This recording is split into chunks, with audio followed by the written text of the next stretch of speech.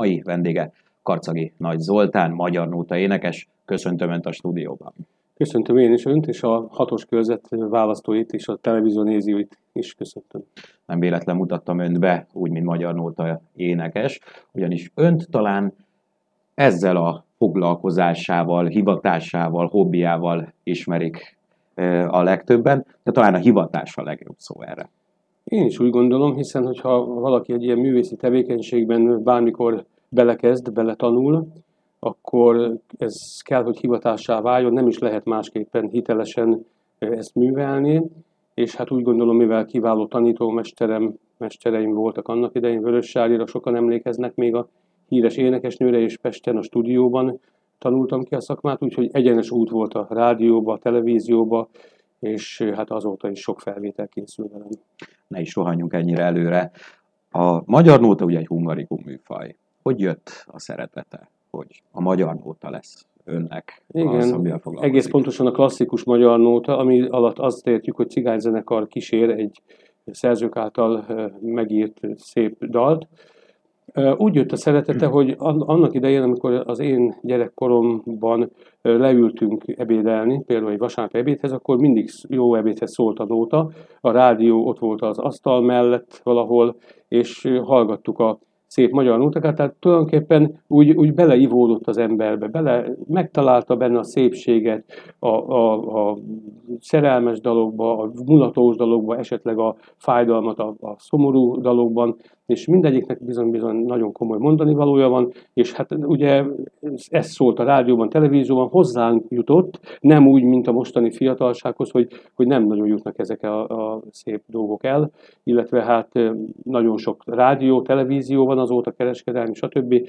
és hát ők nem annyira kultiválják ezt a műfajt. Akkor jól értem, akkor önök ott ültek a családi asztalnál, éppen mondjuk falatoztak, és akkor utána énekelgettek egy jót?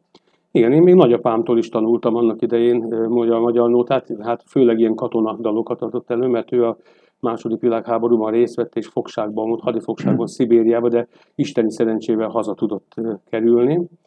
És édesapám is nagyon nagy énekes nótás volt, nagyon szerette, jó hangja is volt egyébként, és hát édesanyámnak is jó hallása van, mindannyian a, a családunk szereti, szerette ezt a műfajt. Azt mondja, hogy ugye a fiatalok talán nem igazán kedvelik ezt a műfajt, de egy magyar nótát mindenki ismer.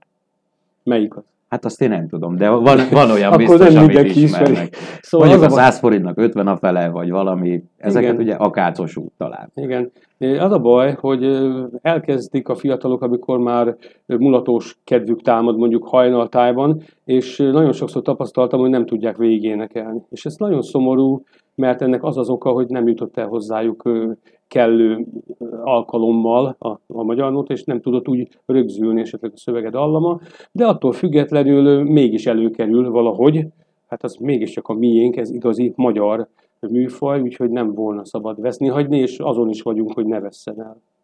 Mikor döntötte azt el, hogy ez lesz az, amivel ön foglalkozni szeretne. Ezt nagyon sokan szokták kérdezni, amikor riportot adok, és ez, ez egy érdekes történet, ugyanis fiatal koromban, még gimnázi, gimnázium idejében nekünk volt zenekarunk, ahol ilyen sláger dalokat játszottunk, én énekeltem, basszusgitároztam, aztán jött a honvédség, ugye akkor még volt katonaság, másfél évet voltam katona, szerencsémre pontosan itt Karcagon voltam katona, és az itteni katonatársakkal ugye hát ugyanúgy ment a mulatás, éneklés, a, úgy a hallgatódalokat, mint a csárdásokat, és ők mondták, hogy te Zoli, hát ezt, ezt annyira jól csinálod, hogy miért nem foglalkozol ezzel?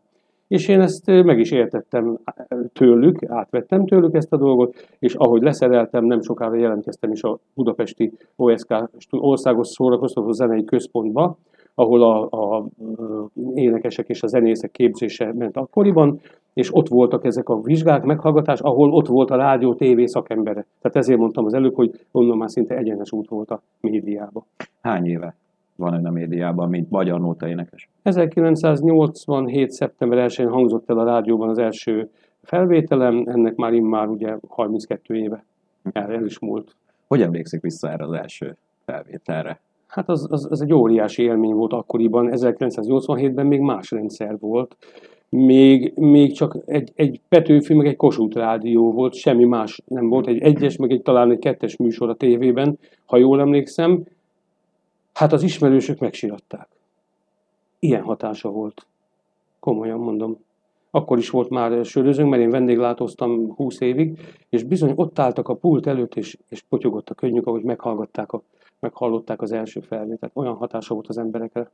Az első karcagi volt, aki énekesként szerepelhetett a médiában? Nem, Márkus Ica, ő, ő volt az első, aki karcagon ezzel foglalkozott, aztán következő már én voltam, és úgy jöttek a, a többiek, úgyhogy én eleinte Márkus Ica meghívására jártam különböző műsorokba, aztán mikor levizsgáztam, utána Kovács Marikával jártunk sokat, és hát így történt a kezdetek kezdete. Ugye szépen képezte magát ugye ebben a műfajban, ami előbb-utóbb a fellépések mellett a szakma elismerését is kivívta. Igen, most a műsorvezető úr gondolom a nem régen megkapott Dankó Pista életműdíjra gondol. Köszönöm szépen, hogy megemlíti. Igen, nagyon nagy megtiszteltetésért nem is olyan régen, ugyanis hát többet magammal megkaptam ezt a Dankó Pista életműdíjat, és hát nagy örömömre szolgál, meg hát természetesen tovább ösztönzi az embert a a műfaj művelésére, annál is inkább, mert óriási lehetőségek vannak benne még ma is, sok helyre meghívnak. Meg kell említenem, de ezt Karcagon nagyon sokan tudják, hogy több alkalommal, két alkalommal is jártam Ausztráliában, a távoli földrészen, Svédország, Németország, Oroszország, Nizsnyi Novgorodban is volt műsorom, és hát a környező magyar lakta településeken, környező országokban, arról meg nem is beszélve, nem régiben voltunk például Nagyváradon, Andival, a hugommal egy nagy sikerű műsort adtunk. Már a következő meghívás is a zsebünkben van, annyira nagy sikerünk volt, és örömmel teljesítettük. És ugye amellett sem szabad el ö, ö, menni, hogy ugye nemrégiben ugye egy rádió is ö, napvilágot látott, ugye a Dankó Rádió, amely újra felkarolt ezt a műfajt. Igen, hatalmas lépés a műfaj életében úgy, hogy 2014-ben ugye Hungarikum lépett elő, elfoglalta méltó helyét a hungarikumok között a klasszikus magyar nóta. Abban az évben alakult meg a, a Dankó Rádió, aminek a fő hivatása a magyar nóta, operett, örökzöld slágerek és a népdalnak a népszerűsítése, terjesztése, és én azt gondolom, hogy ezt jól is csinálják, hiszen úgy van összeállítva a délelőtti műsor is, a délutáni kívánság műsor is, az esti műsor is, hogy abba abban minden műfaj szerepet kap, és ennek örülünk a szakma, és szerintem aki szereti a műfajt, ő is örül neki. Legyen ez így, köszönöm szépen, és a munkáját sok sikert kívánok. Nagyon szépen köszönöm a riportot.